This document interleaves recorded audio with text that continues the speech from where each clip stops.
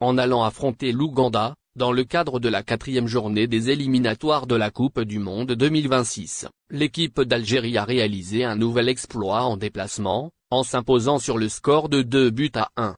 Ils se sont rachetés après la défaite à la maison face à la Guinée. La sélection nationale préserve sa place à la tête du groupe G. Lors de la première mi-temps, on va assister à une prestation médiocre des Verts.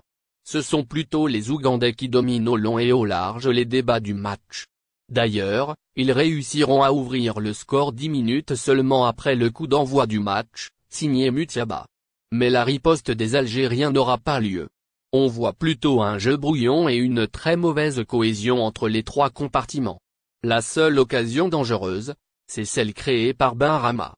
Sur une accélération rapide, il lance un tir à ras de terre, mais le poteau droit sauve le portier ougandais 45 c'est donc sur cette occasion dangereuse que l'arbitre béninois siffle la fin de la première mi-temps. Le score est en faveur des Ougandais sur un but à zéro. Les Verts renversent la vapeur au retour des vestiaires, les Verts vont montrer un visage complètement différent.